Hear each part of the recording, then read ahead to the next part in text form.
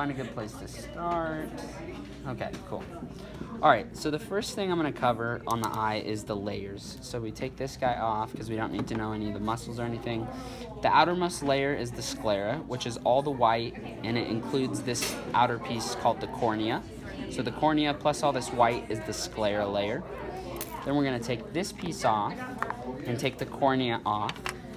Okay, now we can see the second layer in the middle layer that's purple, the choroid layer. And we can still see a piece of the sclera right here. We also can now see the iris structure.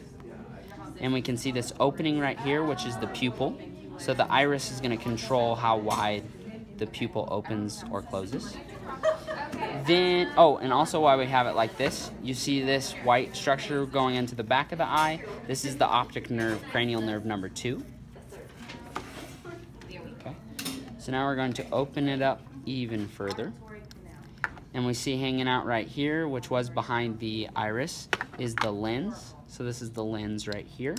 And sitting underneath the lens is this guy, which is the vitreous humor.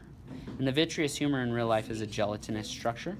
It lies within that posterior cavity, which will be a definition term. And now we see the innermost layer, this reddish orangish color. This is the retina. So that's the innermost layer. Okay. And within the retina, you have two, like two to three structures you need to know well.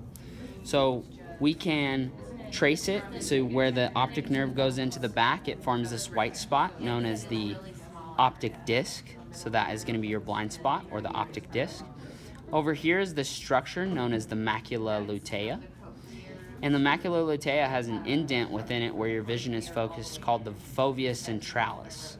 And so the way I'll phrase it on the exam would be macula lutea as the structure, or I'll say name the indent within the macula lutea. That way you don't put macula lutea, and the answer would be fovea centralis. Okay.